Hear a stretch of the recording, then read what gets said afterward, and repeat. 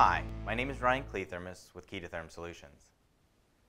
When customers install one of our controllers, they want to know what they need to do to make sure they have a successful installation.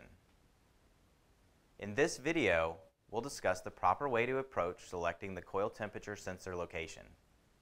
Although it is not difficult, it is important to make sure the evaporator coil temperature sensor is in the correct location. The main reason is that the controller is calculating how to best control the system using this information. To determine the most appropriate coil sensor location, put the system into defrost. The coil sensor location is easily determined by viewing the frost pattern during the defrost. Specifically, the last place frost disappears during the defrost cycle is the correct coil sensor location.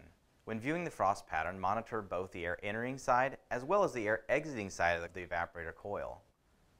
Don't be surprised if the last place for frost to disappear is on the air exiting side of the coil or the side closest to the fans.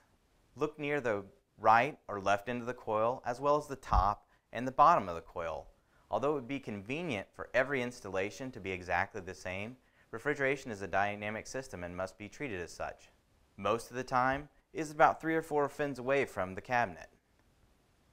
Now that you know the proper sensor location, install the sensor. There are a couple ways to install the coil sensor depending on your application. We have a video called Properly Installing the Coil Sensor to show you how. For more information, visit our website or contact our technical support line.